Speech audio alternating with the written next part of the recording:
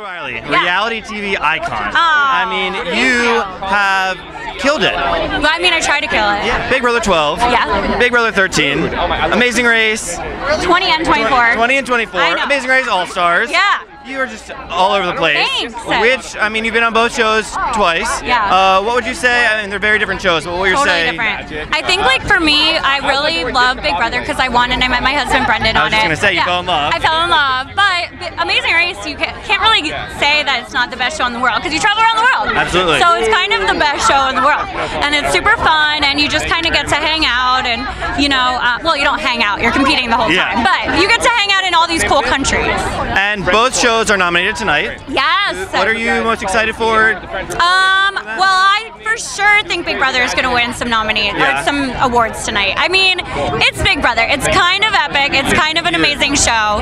We had the best, uh, highest ratings last year, and um, we also had um, amazing new fans. Like our fan base for Big Brother got like really big last year. Like social media like blew up for Big Brother.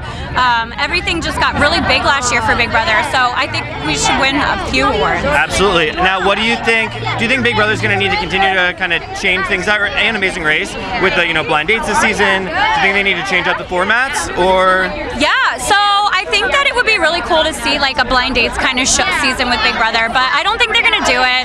I know. I also think it could be like if they just bring. Um, just like regular people in and have like a back to basics season.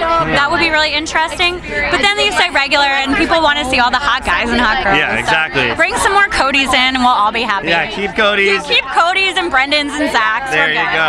and now Julie Chen always kind of calls you in to be her go-to expert. Yeah, I hope so. I Yeah. mean, I love it. I definitely study the game and I love the game. So Yeah. hopefully I'll definitely do it again this So what's next for you? Um, well, I have a movie coming out with Fair Abrams, and uh, it's a horror film. and It'll be coming out like in just a few months or weeks or something. And um, I actually don't know the dates, but um, it's coming out soon. We filmed it, and uh, I have a YouTube show that I'm working on, which is actually really fun to work on YouTube.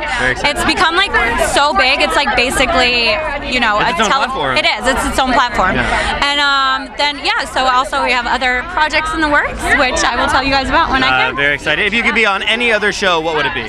Ooh, that's like a really good question. Hell's Kitchen. Hell's but not to get yelled at, just to cook some really good food. Can you cook? no, I'm awful. So maybe I would be on that show, the um, America's Worst Cook. I might be on that show. All right. Probably So that's why we might see you next. You got the You movie, YouTube, and Yeah. America's Worst Chef right here. Thanks, Rachel, so much. Thank Have a good night.